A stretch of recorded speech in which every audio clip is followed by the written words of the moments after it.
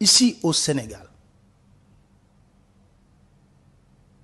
si le Sénégal risque de balancer dans le chaos, c'est dû tout simplement à des proches du président de la République, éléments incontrôlables, qui ne connaissent absolument rien de l'appareil d'État, qui ne connaissent pas qu'est-ce qu'un État, qu'est-ce qu'un gouvernement, qu'est-ce qu'une institution.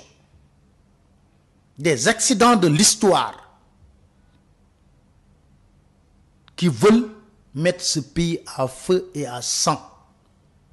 Non pas parce qu'ils aiment le Sénégal, mais c'est parce qu'ils veulent continuer à jouir des privilèges du pouvoir. Ils n'ont rien apporté au Sénégal en termes de plus-value. Rien du tout. Ni quantitativement, ni qualitativement. Mais ils ont goûté aux délices du pouvoir, des lambres dorées du pouvoir. Ils ont transformé leur maison en banque. Ce sont ces personnes maintenant qui contrôlent le pays, qui organisent le massacre des Sénégalais. Mais le peuple a décidé de faire face. Et ces personnes-là n'ont pas de compte à rendre, ou ils croient qu'ils n'ont pas de compte à rendre. C'est pour cela que je demande à la diaspora sénégalaise qui manifeste de sortir les affiches de ces personnes. Vous les connaissez mieux que moi. Ces personnes qui recrutent les nervis, ces pontes de la République qui recrutent des nervis, qui les arment. Sortez leurs affiches. Parce que l'affaire, ce n'est pas seulement Macky Sall. Mais d'avant manifestation, au point que qu'on s'interroge qui est cette personne? Pour qu'on puisse demain ou après-demain déclencher des poursuites contre eux. Car les nervis vont parler et ils parleront. Et ces nervis seront sacrifiés.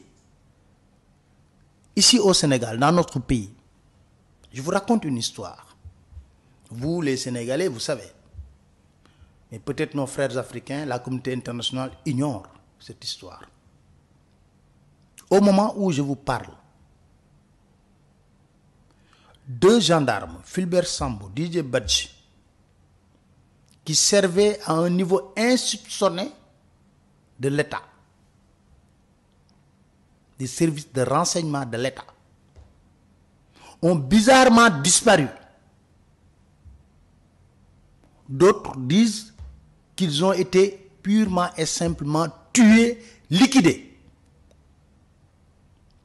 On a vu l'un, le corps, on nous a fait croire qu'un pêcheur a repêché le corps de l'un de ces gendarmes. Mais on a refusé à l'épouse de ce dernier de vérifier et de faire l'autopsie. L'autre a mystérieusement disparu jusqu'à présent. Le procureur nous avait promis une enquête. Un membre du parti présidentiel Macky Sall, pour ne pas le nommer Ahmed Suzanne Kamara, est venu sur quatre plateaux de télévision pour nous déclarer solennellement que ces deux gendarmes n'ont pas disparu, mais ils ont été tués. Le procureur nous dit qu'il a ouvert une enquête. Le procureur n'ose pas le convoquer pour qu'il donne plus d'informations et de détails par rapport à ces déclarations, comme il en sait autant. On a voulu tuer un professeur d'anglais, d'Amboch, mais qui est très engagé politiquement. On a tiré des balles réelles sur sa voiture. Il a eu la chance d'aller se réfugier dans un hôtel.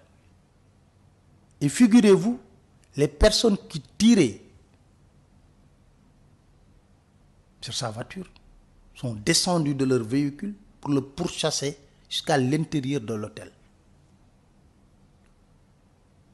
S'ils osent le faire, c'est parce qu'ils ont des garanties d'impunité.